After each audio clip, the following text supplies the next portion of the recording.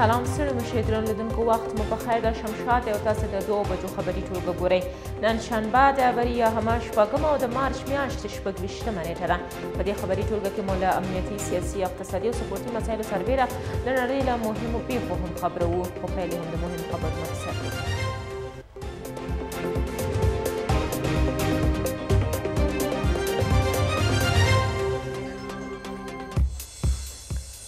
خوړو نړیوال سازمان افغانستان کې د خپل کار په وړاندې لوی خنډ د بودیجې کموالی په ګوته کوي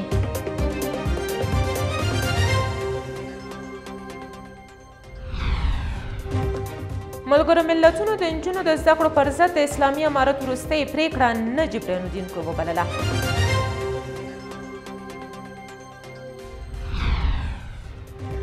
او د اوکراین خپلمنځي اختلاف به روسیې ته د بریا کلی شي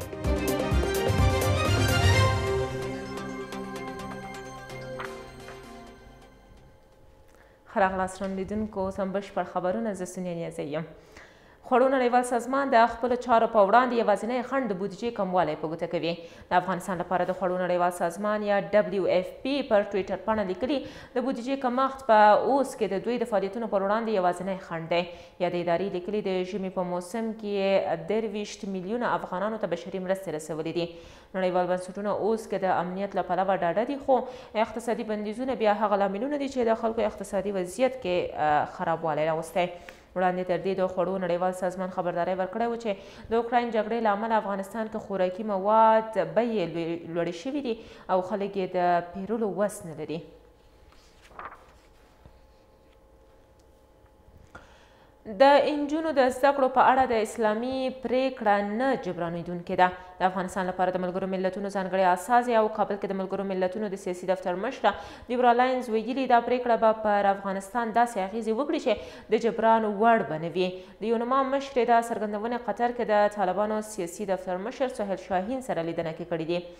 وړاندې تر دې د ملګرو ملتونو عمومي منشي انتوني ګوترش هم د ښوونځیو پر پرانیستلو کې د طالبانو په پاتې راتلو ژور خفګان ښودلی و. د انجونو د زده کړو په اړه د اسلامي امارت وروستۍ پریکړه د ښځو او انجونو له حقونو سرغړونه ده. د ملګرو ملتونو د بشري حقونو نړیوالې کمشنرې میشل بشلېټ ویلي، طالبانو ورسره هغه ژمنه پوره نه کړه چې کابل کې یې کړې وه. اغلې میشل بشلېټ ویلي، د ښځو په مخ د ښوونیزو ادارو تړل به د افغانستان بیارغونه پرمختګ زیانمن نه کړي او ښځې به لا زیات تاوتریخوالي او بېوزلۍ سره مخ شي. هغې هیله ښودلې چې اسلامي امارت له ځنډ پرته د ښونځیو دروازې د ټولو زده کوونکو پر مخ پرانیزي، ځکه په خبره یې د ډول تبعیضي چلند د افغانستان راتلونکی په ژور ډول خرابولی شي. کابل کې لسګونه د ښونځي زده کوونکي، د هغوی کورنۍ غړي او ښځینه مدني فعالانې د اعتراض په ډول د پوهنې وزارت مخې ته راټولې شوې دي. دوی زده کړې خپل طبیعي حق ګڼي او د نوي اسلامي امارت د اوسېدونکو په څېر یې دا خپل اسلامي حق وباله. دوی له اسلامي امارت نه وغوښتل چې زده کړو ته د سیاسي رنګ نه ورکوي او پر ټولو خلکو یې غږ وکړ چې خپلو حقونو ته لاسرسي لپاره دې راپاڅېږي. دوی نړیوال هم وننګول چې ګنې د روان وضعیت په اړه چوپ دي.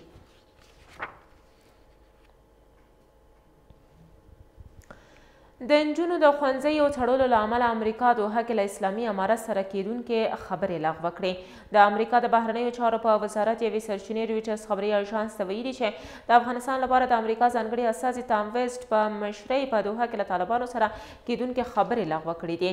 رویټرز خبري اژانس وایي امریکا په قطر کې د افغانستان بانک د افغاني بانکنوټونو د چاپ او افغانستان د تعلیمي سکتور لپاره د نړیوال بانک د سلګونو میلیونو ډالرو مرستې په اړه له طالبانو سره د خبرو پلان لغوه کړی دی.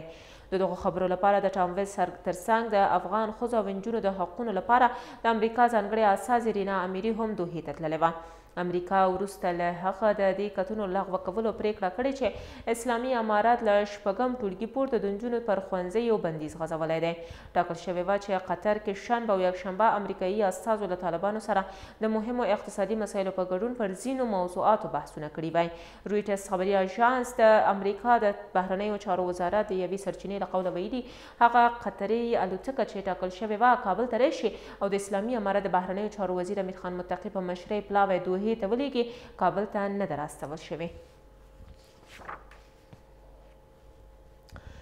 د ملګرو ملتونو امنیت شورا لسو غړو له افغان حکومت نه غوښتي چې ژرترژره د نجونو پر مخ د ښوونځیو دروازې پرانیزي. د ملګرو ملتونو د امنیت شورا لسو غړو په یوې ګډه اعلامیه کې ویلي چې افغان حکومت په وروستیو میاشتو او اونیو کې له نړیوالې ټولنې سره د تعاملاتو په موخه ځینې ژمنې ترسره کړې دي چې باید عمل پرې وکړي. دوی وایي د نجونو پر مخ د ښونځیو د تړلو مسله دا ثابتوي چې دوی له خپلو ژمنو په شا شوي نو له همدې امله له اسلامي امارت نه غواړي چې ژرترژره د نجونو پر مخ د ښونځیو دروازې پرانیزي. دوی وایي روان کال شاوخوا یو میلیون افغان نجونې ښونځي ته د تګ لپاره تیاری نیولی و چې په وروستۍ شیبه کې ناهیلې شوې او دوی یې له حقونو د دفاع لپاره ولاړ دي. په دې هیوادونو کې فرانسه، امریکا، بریټانیا او نور هیوادونه شامل دي.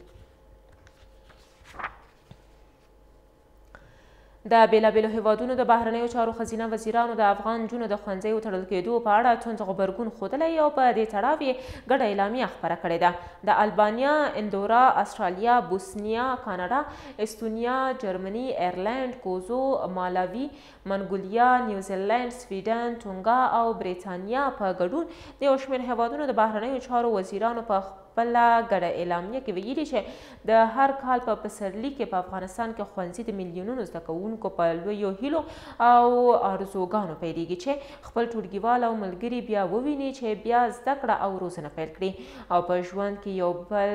مخ په وړاندې ګام پورته کړي په اعلامیه کې ویل شوي دوی د ښځینه او بهرنیو چارو وزیرانو په توګه په دې تړاو خوابدي دي چې په افغانستان کې نجونې پرې پرې نه ښودل شي چې د لیسې دورې د زده کړو لپاره ښوونځیو ته لاړې شي. د هغو هېوادونو چې د بهرنیو چارو وزیرانې یې ښځې دي، له اسلامي امارت نه غوښتي چې له افغانانو سره پر خپلو ژمنو ودرېږي او پر هغو نړیوالو کنوانسیونونو عمل وکړي چې افغانستان منلي دي.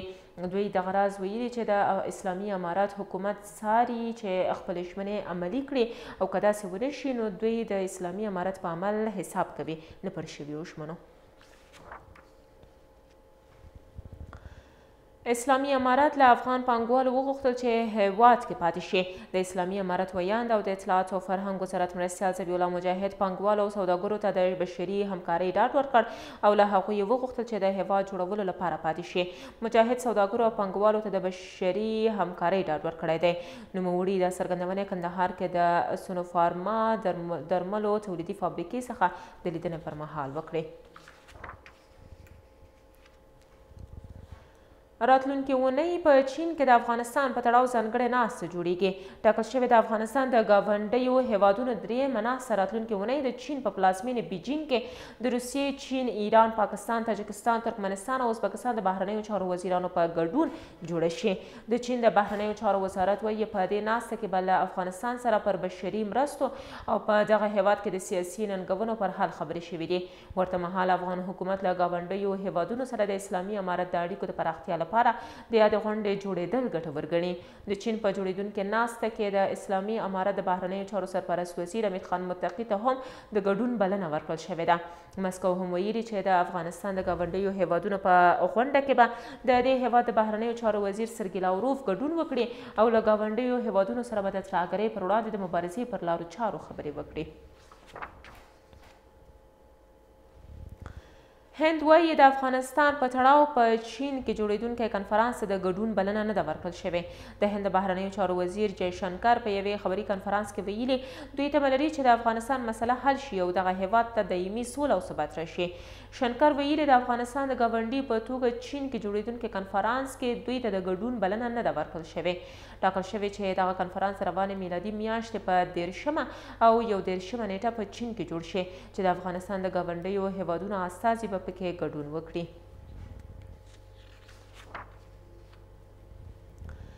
د سره صلیب نړیوالې کمیټې د فراه ولایت په لرې پرته سیمه کې یو روغتیايي مرکز جوړ کړ دغه مرکز په بکوا ولسوالۍ کې جوړ شوی چې مخکې د دې ولسوالۍ اوسیدونکو د خپلو ناروغانو د درملنې لپاره په ساعتونو ساعتونو مزل کاوه. د سره صلیب نړیوالې کمېټې په یوې اعلامیه کې ویلي چې د دغه مرکز لپاره یې روغتیايي کارکوونکي استخدام کړي او طبي تجهیزات او درمل یې هم چمتو کړي دي. د یاد روغتیايي مرکز په جوړېدو سره د بکوا او ګاونډیو ولسوالیو د څه نا څه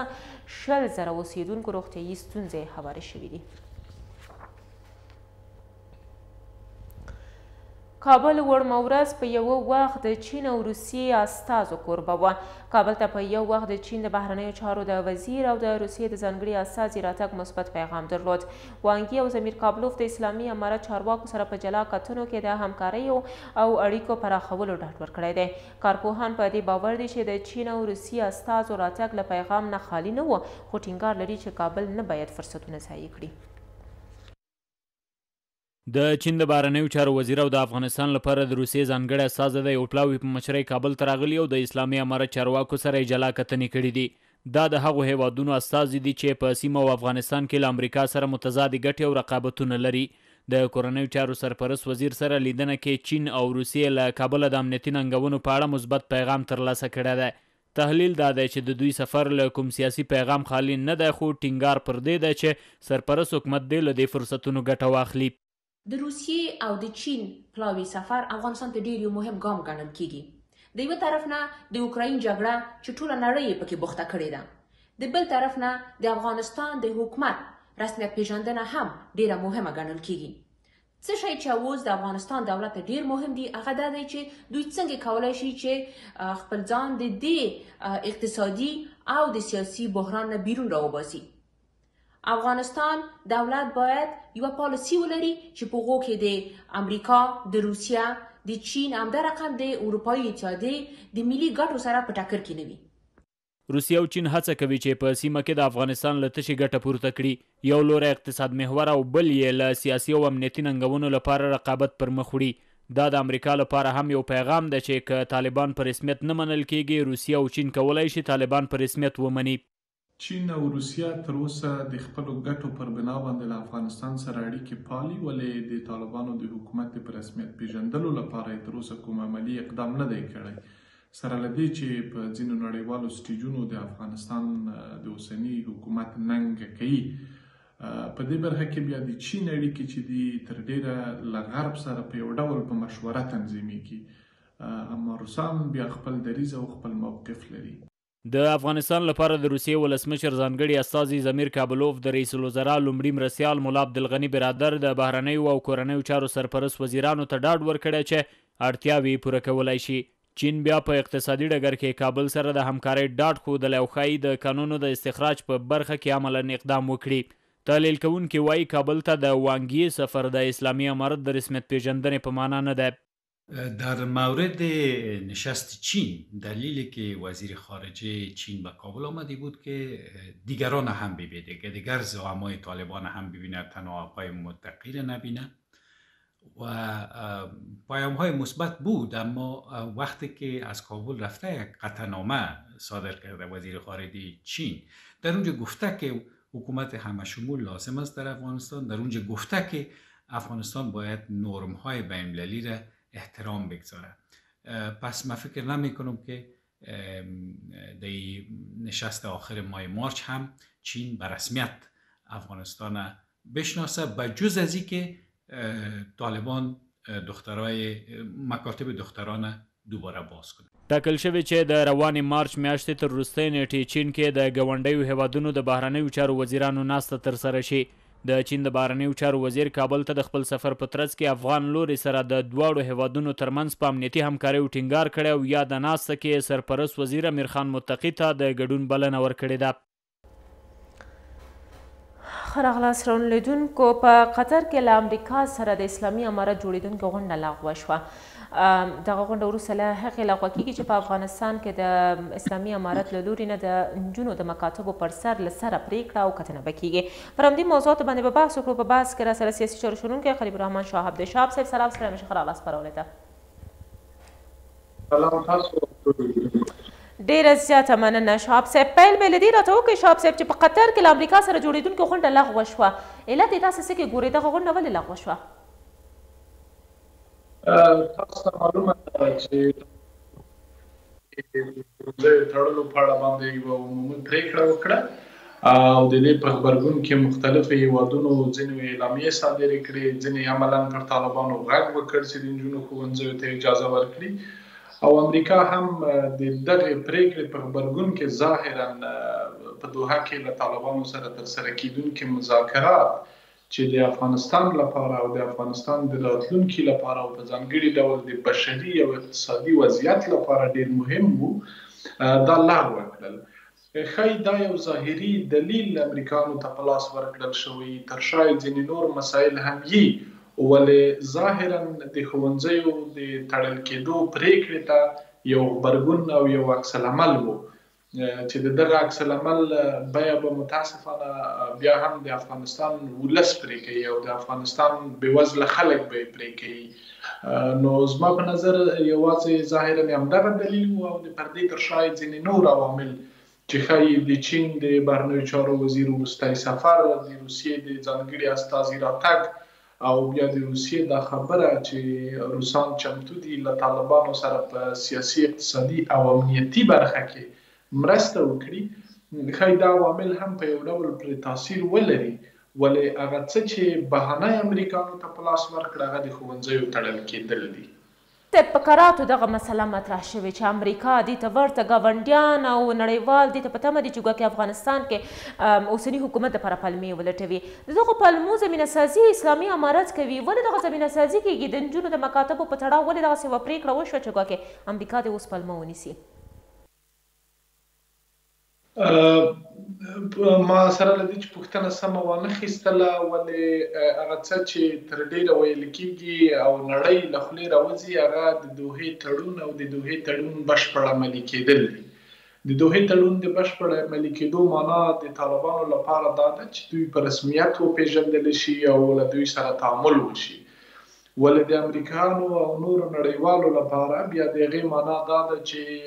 په افغانستان کې د دوی په اصطلاح یو همه شمول حکومت جوړ او ټول اړخونه، ډلې، ژبې، افراد او سیاسي ګوندونه البته چې په افغانستان کې تاثیر ګذاره دي هغه په کې سهم ولري نو هغه مذاکرات چې تر ډېره په دې وروستیو کې په دوحه کې روان وو، هغه هم داسې انګېرل کېده چې هغه د دوحې تړون د بشپړ عملي کېدو لپاره ترسره کېږي او طالبانو هم په بار بار دا ویلي چې دا مذاکرات د همغو تړونونو په دوام باندې ترسره کېږي. نو فکر کوم کله چی یو خلاف ګام د هغه څه اخیستل کیږی چی. دلته ایا د نجونو مکاتبو نه د یوی وسیلی په توګه کار اخیستل کیږی؟ تاسو یادونه وکړه چی اصلی مسله د دوحی د هوکړی په سمه توګه عملی کول دی. امریکایان ټول شموله حکومت غواړی او اسلامی امارت رسمیت پیژندنه. دلته په دی منځ کی د نجونو د مکاتبو په تړاو مسله څه ده؟ ولی نجونو ته د درس او د زده کړی اجازه نه ورکول کیږی؟ خبره دا ده چې زما په نظر طالبانو د نجونو د ښوونځیو په تړل کېدو سره یا په دې اعلان سره په یو ډول غوښتل د یوې سیاسي معاملې لپاره یا د نړۍ د توجه د را اړولو لپاره دغه پرېکړه وکړي او په نهایت کې به دغه ښوونځي نه تړلي کېږي. خو دا نه وه سنجول شوې چې د دغې پرېکړې عواقب به په سیاسي ډګر کې دوی ته څه يي، یعنې دوی دومره نه انګېرله چې غبرګون به دومره جدي يي، بلکې دوی د دې لپاره چې سبا بیا په چنځنۍ او په خبرو اترو کې یو څه پرې تر لاسه کړي، دغه اعلان وکړ او زه مطمئن یم چې دا ښوونځي به نن یا سبا پرانیستل کېږي. غواړم چې یو ټکي دلته د بله اشاره وکړم، اوس د افغانستان خلکو او ټول ولس غوښتنه کوله چې طالبان د ښوونځي خلاص کړي ولې دې غوښتنې ته ژر ځواب ورنه کړل شو اما اوس چې د امریکایانو فشار راغلی که طالبان په خپله هم ښوونځي خلاص کړي انګېرنه به په ولس کې دا یي او له خلکو سره به دا یي چې ګواکې دا د امریکا د فشار په نتیجه کې خلاص شول نو ښه دا وه چې پرته له دې چې په دې کې ډېر تأخیر شوی وای او په دې کې دومره ځنډ راغلی وای د ولس غوښتنې ته ژر ځواب ویل شوی وای او هغه شرایط چې دوی غواړي د د تعلیم لپاره هغه باید بیا وروسته په کرار کرار ډول باندې عملي کول ولې امریکانو شواب صاحب د نجونو په زده کړو باندې په افغانستان کې د نجونو په مکاتبو او د دوی په زده کړو باندې معامله وشوه معامله نه شو ورته داسې مطلقه معامله ویلای چې په هغې کې د یو اړخ غوښتل په هغې باندې یو ډول باندې غټ امتیاز ترلاسه کړي ولې د پام راړولو لپاره طالبانو د یوې حربې په توګه غوښتل چې ویې کاروي خو دا چې د نړۍ غبرګون ډیر جدي وو او په ځانګړي ډول د امریکا او ښايي ځينې خلک منتظر وو همدغسې يوې بهانې ته چې هغه اړيکې چې له طالبانو سره دوی يا دوام ورکوي يا يې ورسره لري هغې ته يوه بهانه پيدا شي او هغه په يو ډول قطع يا پکې تاخير راشي نو طالبانو په ډېرې اسانۍ سره دغه بهانه هغو هېوادونو ته چې دوی ورسره په مياشتو مياشتو د ډيپلوماتيکو خبرو له لارې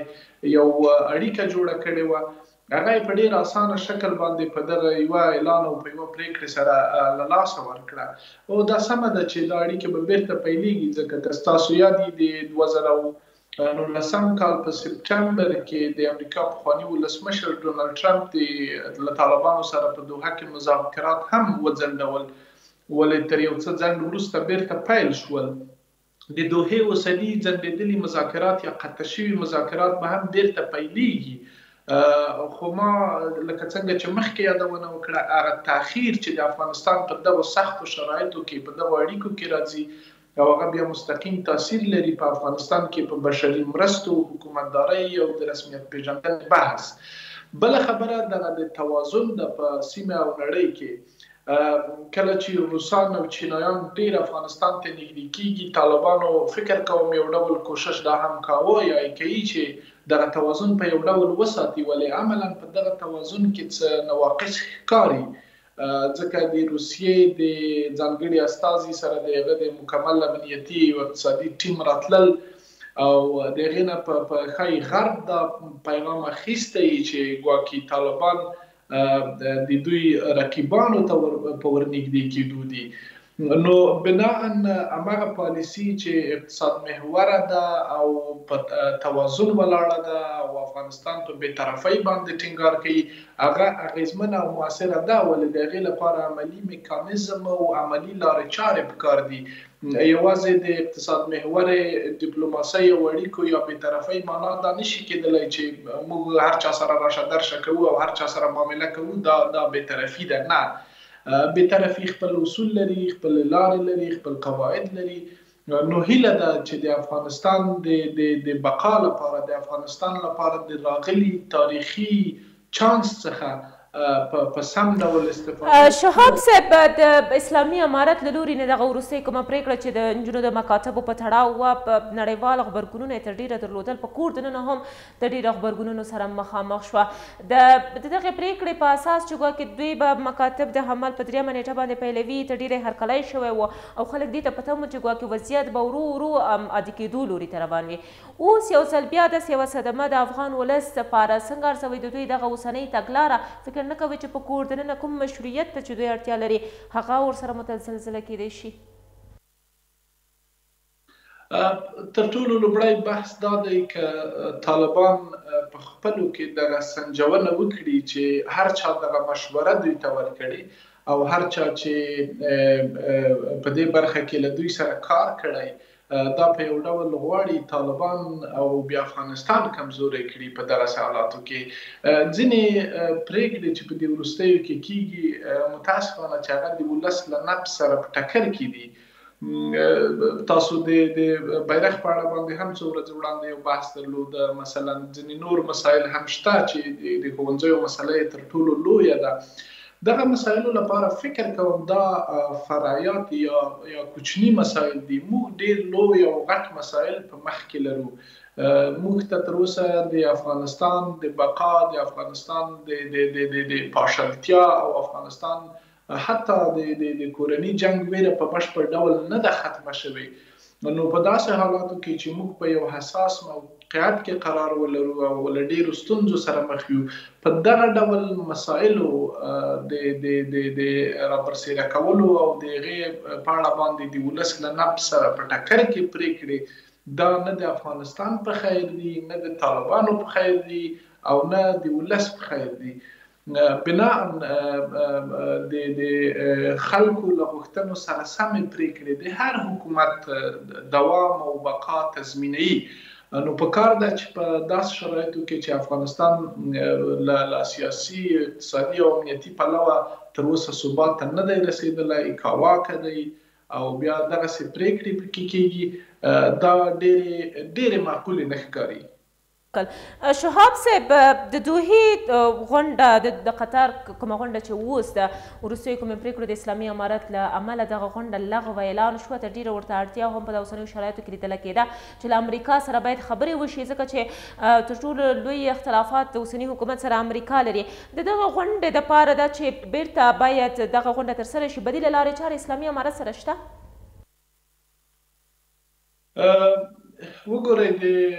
طالبانو کوشش هم له لومړۍ ورځې دا دی چې هغوی هره ورځ اعلان کوي چې موږ د نړۍ له هر هېواد سره ښې اړیکې غواړو، تاسو د بهرنیو چارو وزارت د سیاسي مرستیال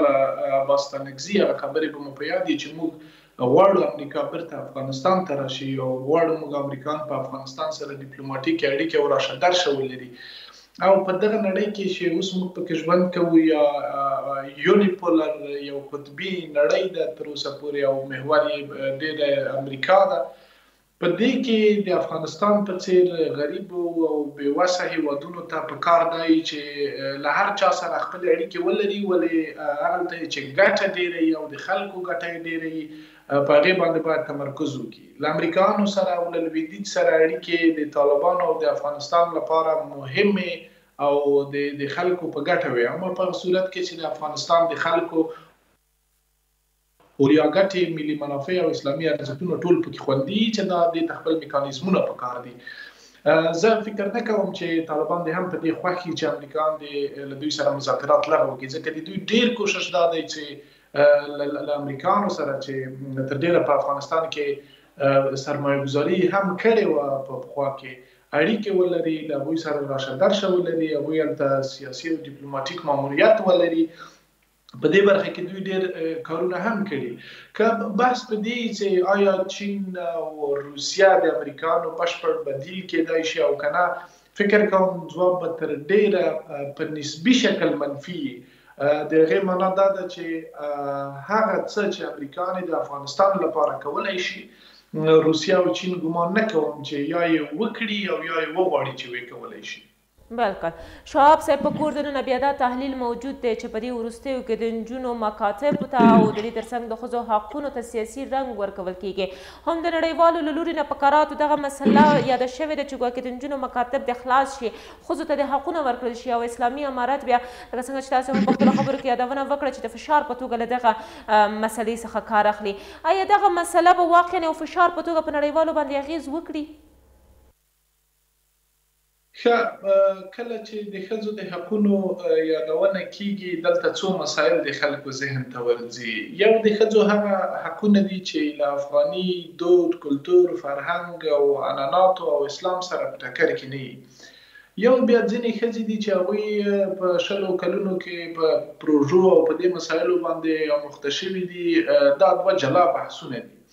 هغه واقعي حقوق چې افغان مېرمنې باید ولري، متاسفانه تر اوسه یې نه لري او په دې برخه کې هېڅ عملي ګام هم زما په نظر تر اوسه پورې نه دی اخیستل شوی. دا چې سیاسي تاثیر به ولري او که نه، دا اصلاً د چانهزنۍ او د بحث وړ موضوع ځکه نه ده چې که څوک په خپل ملت باندې یا په خپلو خلکو یا په خپلو اتباعو باندې د هغوی تر فشار راوستو لاندې امتیاز اخلي دا ډېر منطقي بحث نه دی اصلا ځکه نو نړیوال هم په دې برخه کې که اغېز پرې ولري هم توجه ورته ونه کړي بناء د دې وخت دی چې د ټولو افغانانو او د ټولو هغو اتباعو چې په افغانستان کې ژوند کوي حقوق د د اسلامي او افغاني ارزښتونو او حقوقو سره سم ټولو خلکو ته ورسېږي. شهاب صاحب که په پای کې راته دا ووایې چې د قطر د ناستې تر څنګ د غونډې تر څنګ داسې ورته نورې هم ډېرې غونډې دي چې ګواکې چین راتلونکو څو اونیو کې یوه غونډه ترتیب کړې ده د افغانستان د حقونو په تړاو د دې تر څنګ کوم پلاوی چې راغلی دی له دغو غونډو څخه به د افغانستان په ګټه او نفع باندې به امتیازات واخیستل شي. دغه امتیازات او دغه ګټه اخیستنه اسلامي امارت په کومو دلایلو او څنګه کولای شي؟ یو خو د دوحې ناسته وه چې تر ډېره دا ځل پکې اقتصادي بحث کېدی او ځینې داسې راپورونه شته چې د دوحې په ناسته کې د افغانۍ په ثبات یا د نویو افغاني بانکنوټونو په چاپ یا د یعنې د همدغو اوسنیو بانکنوټونو نور چاپ چې هغه زاړه شوي دي یا استهلاک شوي دي، په دې باندې بحث کېده او تر ډېره پورې چې دغه د افغانۍ ثبات په دې وروستیو کې یو څه ښه شوی و، له دې سره نوره هم مرسته کېده. نو که موږ دغه فرصت له لاسه ورکړی، طبعاً چې دا به بیا وروسته منفي تاثیرات لري او هیله ده چې په دې کې ډېر تاخیر رانه شي او ژر هغه مسایل چې شته هغه حل شي. بل د چین ناسته ده چې د روانې میاشتې په پای کې به دایرېږي په هغې کې یو بحث چې باید له پامه ونه غورځول شي هغه دا دی چې په سیمه کې هر قدرت او هر هېواد او په نړۍ کې هر هېواد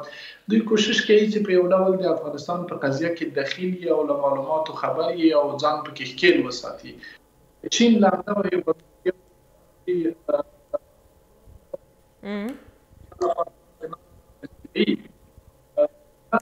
ډیره زیاته مننه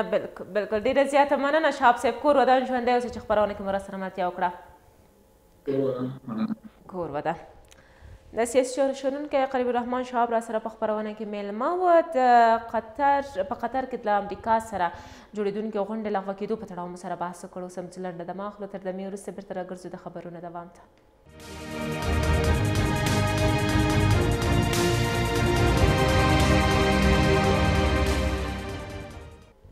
خراغلاس ټول لیدونکو د خبرونو دوام ته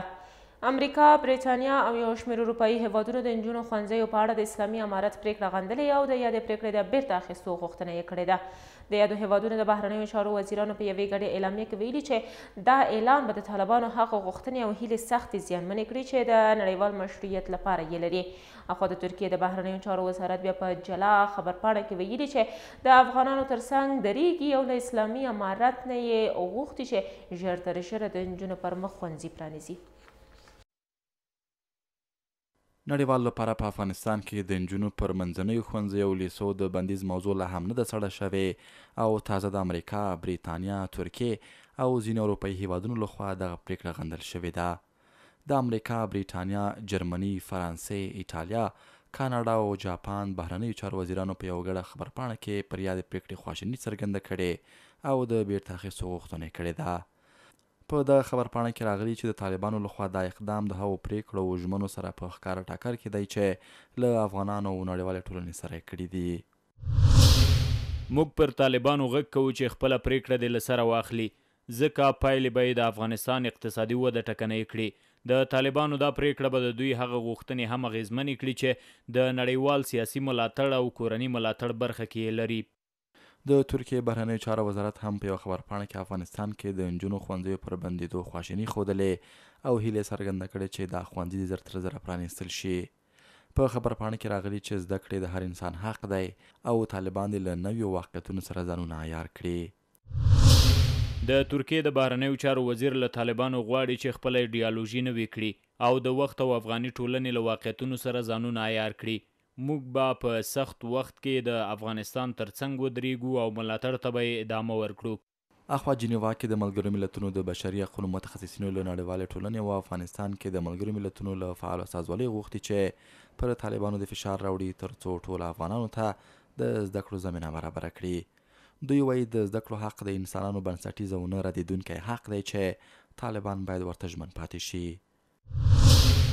د زده کړو حق د انسانانو بنسټیز حق دی، نو له طالبانو مو غوښتنه دا ده چې خپله پرېکړه دې له سره واخلي. په ټول افغانستان کې د هر عمر لرونکو نجونو ته باید ښوونځیو ته د تګ زمینه برابره شي. د اسلامي امارت د پوهنې وزارت د وري میاشتې په درېیمه نېټه خپله هغه پرېکړه له سره واخیسته چې ټولې نجونې به ښوونځیو ته پرېښودل کېږي او له دې سره یې میلیونونه هغه نجونې د ښوونځیو له دروازو راوګرځولې چې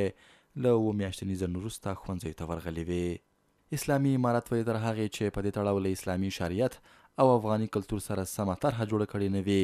د نجونو ښونځي به تر ثاني امره بند وي. مزار شریف ښار کې د اسلامي امارت په ملاتړ ولسي غونډه جوړه شوې وه. یاده غونډه کې قومي مشرانو، د پوهنتون استادانو او د ځوانانو استازو له ولسونو او حکومت نه ځینې غوښتنې وکړې. تعلیمي او روغتیايي خدمتونه، د پراختیايي پروژو پیل او د نیمګړو پروژو بشپړ د ویناوالو غوښتنې وې. د هېواد شمال بلخ ولایت کې د نظام په ملاتړ ولسي غونډه جوړه شوې وه. یاده غونډه چې د بلخ ولایت مقام په تالار کې د ځايي ولسونو لخوا جوړه شوې وه، د دولتي چارواکو سربېره په کې د بېلابېلو قومونو استازو، ځوانانو او د پوهنتون استادانو ګډون کړی و. د ولس استازو چې په دې غونډه کې ګډون درلود، له اسلامي امارت څخه یې د ملاتړ او مننې ترڅنګ په کلکه غوښتنه وکړه چې د هېواد او ځانګړې توګه بلخ کې دې د نیمګړو پروژو د بشپړېدو او نویو پروژو د پلي کېدو لپاره عملي ګامونه واخیستل شي. د غونډې ویناوالو همداراز په خلکو غږ وکړ چې موجوده نظام څخه ملاتړ وکړي او هغو کسانو ته دې د بیا واکمنېدو فرصت نه ورکوي چې د وطن په خیر نه دي. د ځوانانو د پرمختګ لپاره د امارت او خصوصاً د اطلاعات و فرهنګ، معارف او لوړو زده کړو ریاستونو توجه غواړو. د نجونو د ښوونځیو په اړه لازمه بولم د بلخ والي او د معارف ریاست او نورو چارواکو نه په خاصه توګه مننه وکم هغه چې په ټول افغانستان کې یو ورځ چلند روان و خو په بلخ ولایت کې له اوله ورځې نه تر ننه پورې نه د نجونو مکتب نه د هلکانو مکتب د یوې ورځې لپاره هم نه دي تړل شوي، دا د مننې وړ ده. ناموس، حیا و همگه پاره کمای کردین. شما ای ملت مظلوم را از شر غربیهای مفسد، از سر نماینده های مفسدشان از سر جواسیس و اجرایشان از سر نوکرانشان از سر کلدرا و غاصبینشان این ملت را نجات دادین افتخار و شما غونډه کې د ځوانانو په استازیتوب هم خبرې وشوې او په بهرمیشتو افغان ځوانانو د بیرته راستنېدو غږ وشو. مدارا و اجرا کردن کارهای مردم است باید امورات مردم مثل برخلاف حکومتهای سابق امورات مردم باید بدون بیروکراسی بدون فساد باید اجرا شود این باعث خوشنودی مردم میشه راځي لدی نظام نه پکلک ملاتړ وکړو راځي دا نظام آباد کو ناشکری د ځان سره ظلم دی ناشکری د د دې هوا سره ظلم دی نور مکرې چې دا هوا د آبادی د بربادی خدای لار سي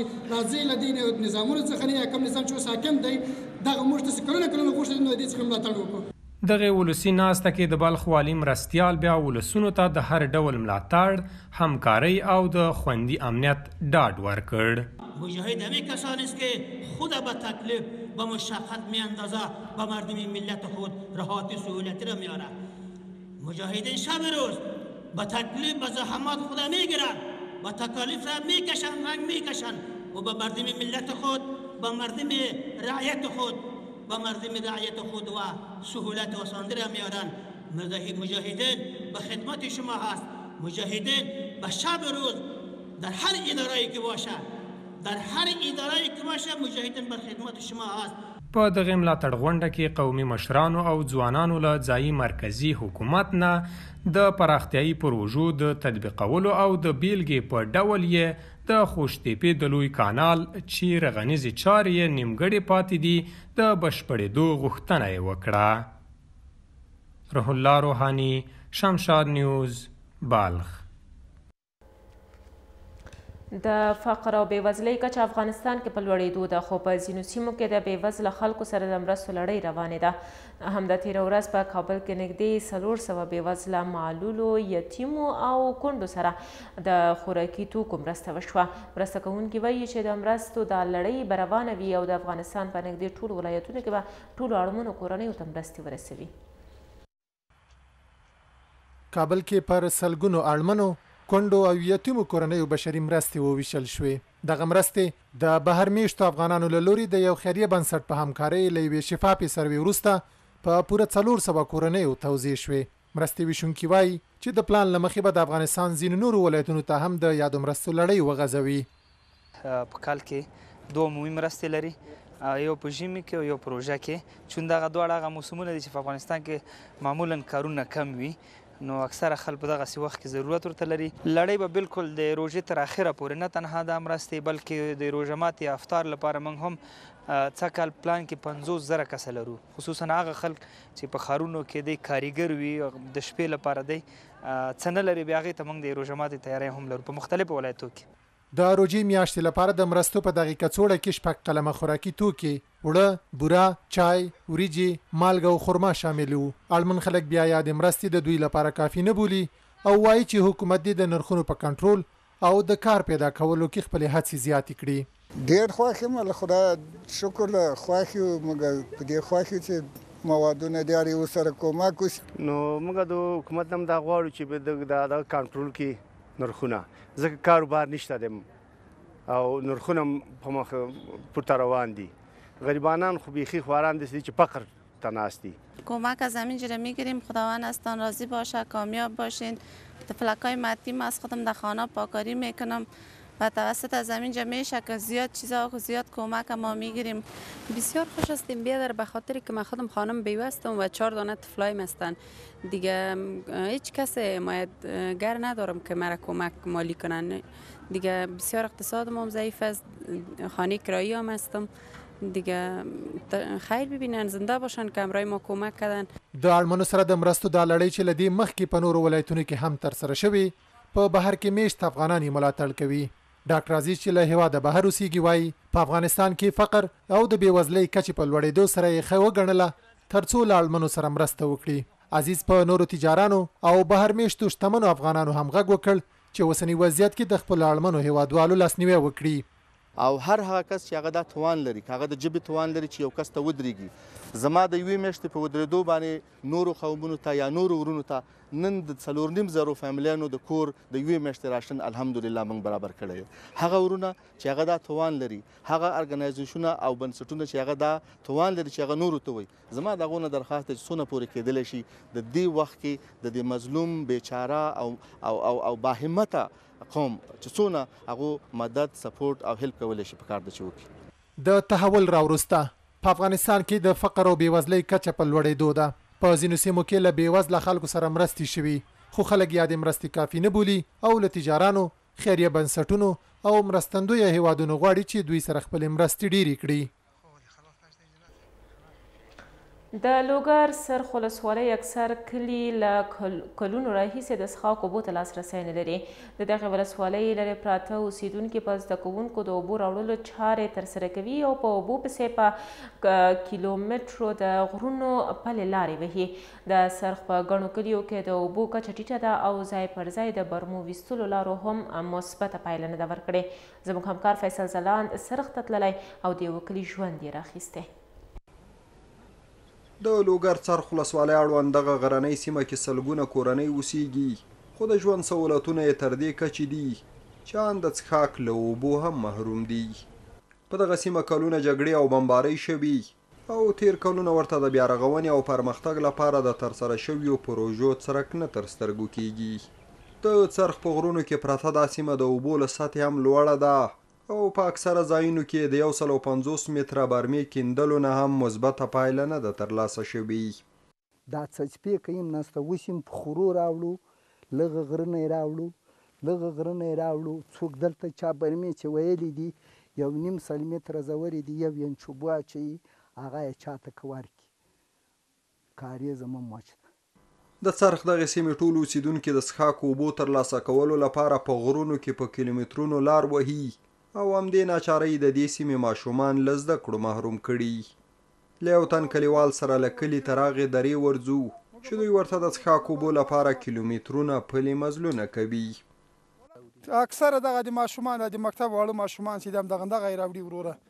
بیا چې هغه بعضې خلک ماشومان ولري مجبور یې سیاسر یې لغني غوجایدن راوړي ولاس و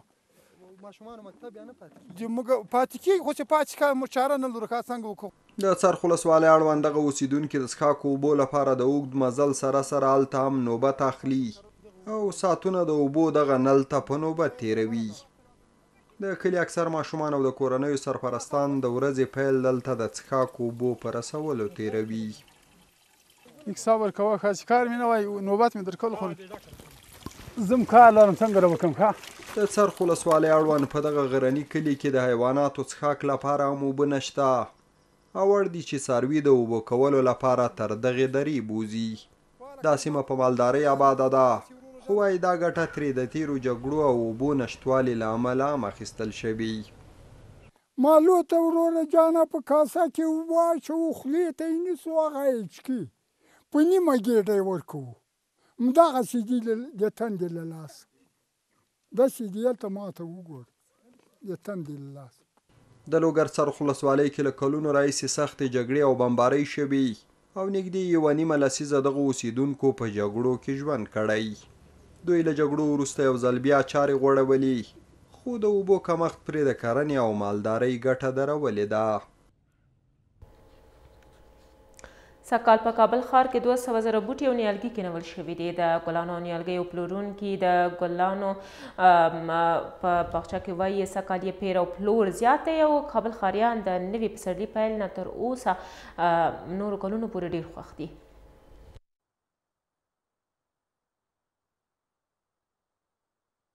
د پسرلي تازه هوا او د مرغانو نغمې د پسرلي پیل سره د کابل ښار نوی رنګ خپل کړی او سږکال ورته ښاریان د نورو کلونو په پرتله زیات خوښ دي کابل ښاریان ژمن دي چې د ښار په سرسبزه کولو کې به ونډه اخلي او له نورو هم ورته هیله کوي چې د زرغون او پاک چاپریال لرلو کې خپله ژمنتیا پر ځای کړي هر انسان باید یو یو بوټی د د کابل د ښکلا په خاطر باندې باید کینی په خپل کور د خپل کور مخ ته یا هر چیرته چې زړه ګل پلورونکي خوښ دي چې د تیر کلونو په نسبت یې سږ کال د ګلانو او نیالګیو پیر او پلور زیات شوی دی او تمه لري چې سږنی کال به د تیرو هغو په پرتله زرغون وي. هزارها بار شکر می کنیم که امسال نامخدا خرید و فروش ما بسیار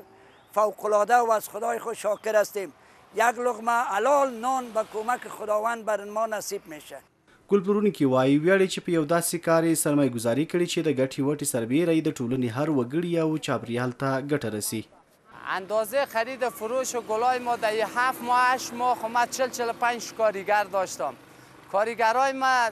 50 فیصد جواب دادیم ماشاءالله در یک ماه که پس این همی فصل کار ما است پس کارگرای ما میبینه در چل 50 نفر کارگرای ما شدن په همدې حال کې کابل ښاروالي وايي چې په کابل ښار کې د یو میاشتني کمپاین پر مهال دوه سوه زره زینتي او نورو ډول ډول نیالګي یې کینولي دي. طور که همشهریای عزیز ما در تهران هستند از اول حوت سال یک هزار و چهارصد تا اول حمل سال یک هزار و چهارصد و یک شاروالی کابل به مدت یک ماه کمپاین نالشاری را به راه انداخته بود که در نتیجه شاروالی کابل دویصد هزار نیال مختلفالنوع در شهر کابل غرس کرد و بیش از 70 هزار نیال دیگه هم از طرف تجار ملی و از طرف دیگر شهروندهای شهر کابل در شهر نال غرص در شهر کابل غصب کردید است که در این راستا شاروالی کابل در بخش مراقبت چندین کیلومتر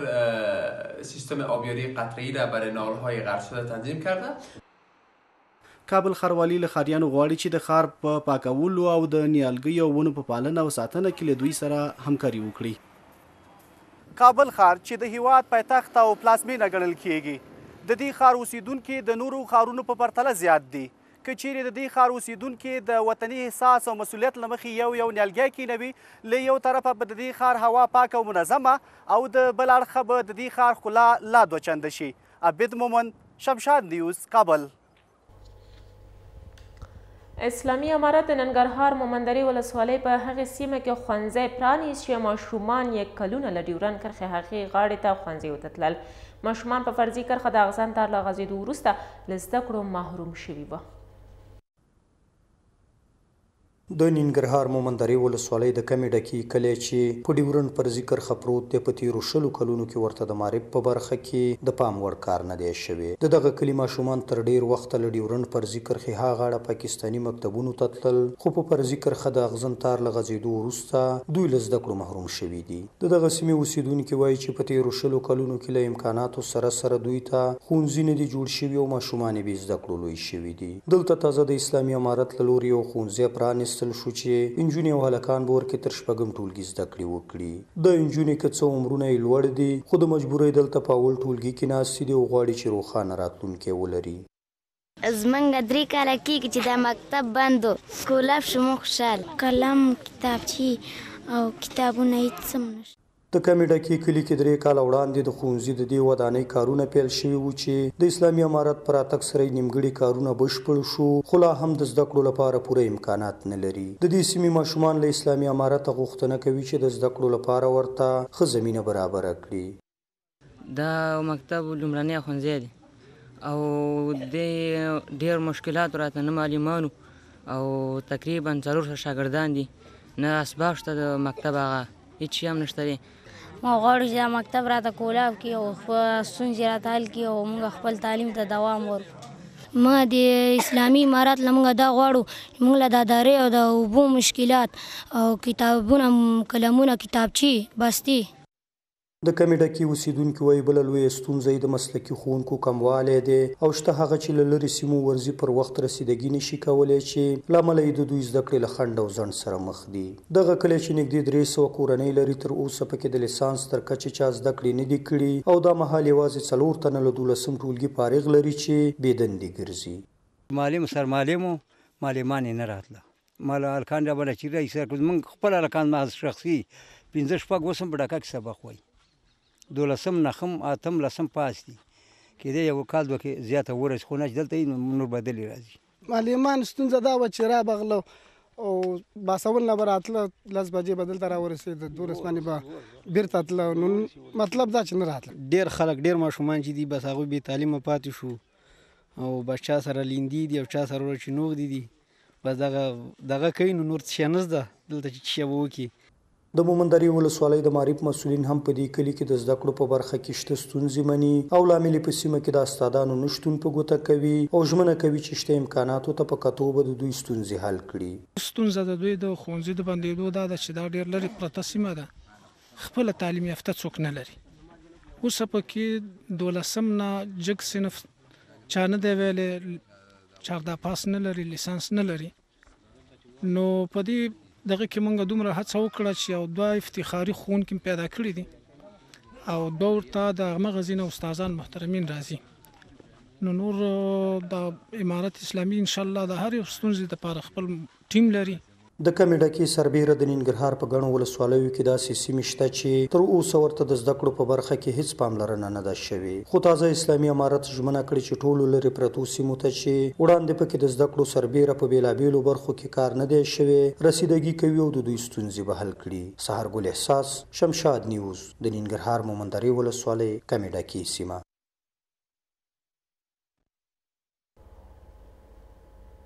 د بغلان ولایت چارواکي وایي چې په دغه ولایت کې د هغو کانالونو د پاکولو لړۍ پیل کړې چې له دریو کلونو راهیسې نه و پاک شوي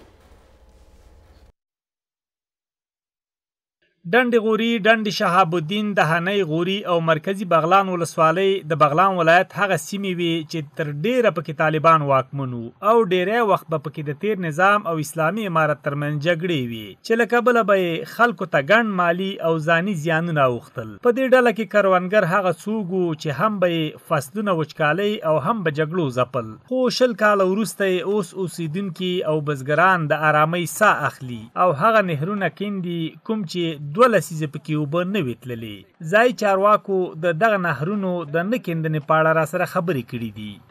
په کرکیله کې همداسې په وبخور کې نو د وبخور ترتیبونه خو د موږ ډیر زیات خراب ځکه سي دغه کوم نهرونه سي د موږ راغلي دي د موږ ساحو ته ساحو ته سیالته په کې قیام سوی د سلیبیانو په مقابل کې دلته د دښمن پوستې وي دلته ډیر زیات مشکلات دا نهرونه د شل کاله وستل سوي لند کې چیرته به وستل کېدل هم نو پوستو والا بلوغونه پیسې غوښتلې دینه تخمینا شل ج... شل زره جره بزمکه لاندې ده د سره شل زره جره بزمکه خړوب کیږي او فائدہ رسیږي ټول د کانان او لس ټول خوشحاله ده ځکه چې دا شل کاله دا نهرونه پاک سوي نه وو اوس به ان شاءالله په ښه طریقې باندې دا اوبه اخري سر ته رسیږي او ټولې مځکې به ترې خړوب کیږي. بزګران ادعا کوي چې تېر شل کاله د حکومتي ځواکونو امنیتي پوستو دوی ته اجازه نه ورکوله چې ډک شوي کانالونه په دغه سیمو کې پاک شي او اوبه د دوی کروندو ته ورسیږي. کروندګر وايي د دغه نهرینو په کیندو سره به یې فصلونه اوبه او د دوی دسترخانونه به هم له ډوډۍ ډک شي. مشکلات دغه وو چې اسکوټر نه پرېښو چې طالبان هغه سنګر پې جوړوي اسکوټر نه راکول اوس دغه دی الحمدلله اسکوټر کار کوي مشکلات دا ډېر غټ مشکل وو مخکې خو دا مشکلات وو چې انقلاب وو مخکې دولت چې وو هغه موږ سره د ولس سره همکاري نه کوله او نه کومک را سره کاو او اوس د موږ د ولس مشکلات هم دغه و چې نار ډکو وبوس پایناو ته نه تیرېدل و مخکې نار ډکو خلکو ته نه رسېد جنگونه به وو دا پوستو به نه پرېښودل خلک اوس هر شی اوبه دا ماشین نه کار کوي اوبه رسیږي خلکو ته اوس مسولین وایي چې د دې کانالونو په پاکولو څه باندې درې زره بیکاره کسانو ته د کار زمینه برابره شوې او د غنمو په بدل کې کار کوي چې له یوه اړخه د خپلې کورنۍ اړتیاوې پوره کوي او بل لور ته یې سیمه ییزې ستونزې حل کیږي عبدالله ساحل شمشاد نیوز بغلان